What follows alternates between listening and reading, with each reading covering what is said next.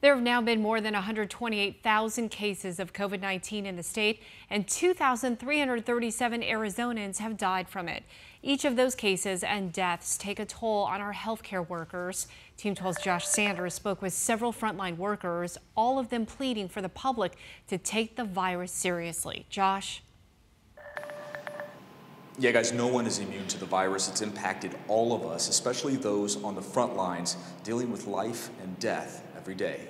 COVID 19 is crippling Arizona. Since last week, the number of positive cases soaring by more than 36,000. The state reports 88% of ICU beds and 85% of inpatient beds currently in use. So there's a disconnect with what people out in the community are experiencing and what our healthcare workers here on the front line are experiencing. The virus has taken a toll on healthcare workers across the state. In a tweet, Arizona Senator Victoria Steele announcing the state is sending 75 ICU trained personnel and crisis counselors to Tucson Medical Center to help staff with the emotional trauma they endure day after day. You don't just stop taking care of a patient because a whistle blows or it's that time of day you need to go punch out. That goes for the nurses and the doctors and everyone involved.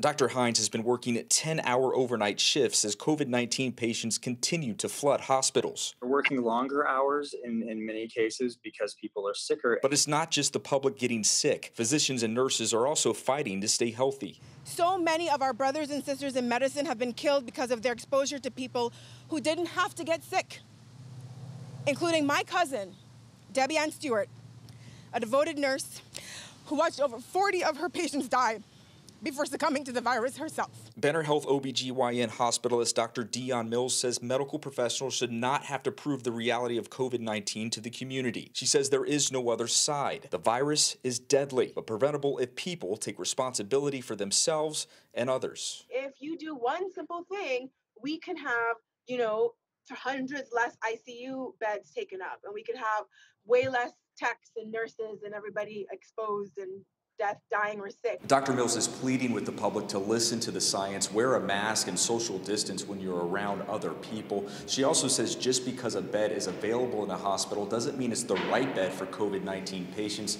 The wrong bed could limit medical interventions. We're in downtown Phoenix. Josh Sanders, 12 News.